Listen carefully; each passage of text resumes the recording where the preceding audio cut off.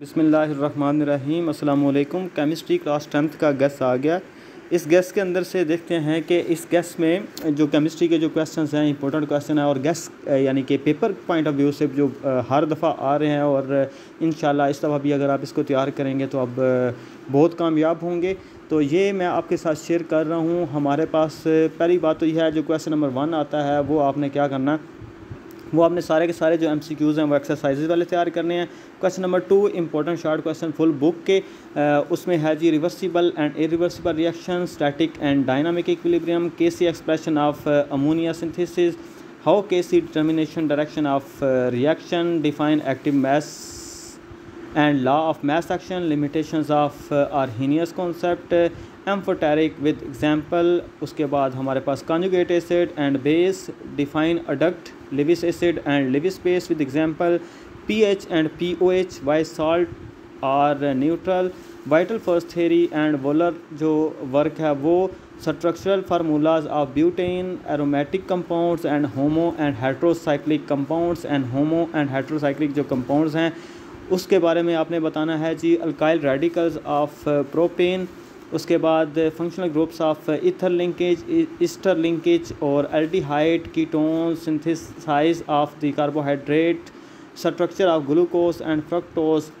characteristics of monosaccharides examples of disaccharides general formula of amino acid essential and non essential amino acids peptide linkage why temperature of upper stratosphere high primary and secondary pollutant define green house effect and global warming define acid rain effect on plants ozone hole depletion of ozone with reactions why water is universal solvent permanent and temporary hardness water softening Clark method उसके बाद है जी biodegradable define waterborne diseases, hepatitis, jaundice, chemistry of uh, swimming pool, define mineral ore step of uh, metallurgy, froth flotation process, blister copper principle and advantages of Solvay's process, Haber process, steps of urea manufacturing उसके बाद question number three important जो long questions हैं law of mass action characteristics of dynamic equilibrium Lewis concept Lowry Bronsted concept P S scale homologous series peptide linkage stratosphere effects of global warming effects of acid rain of hard water effects of water pollution advantage of Solvay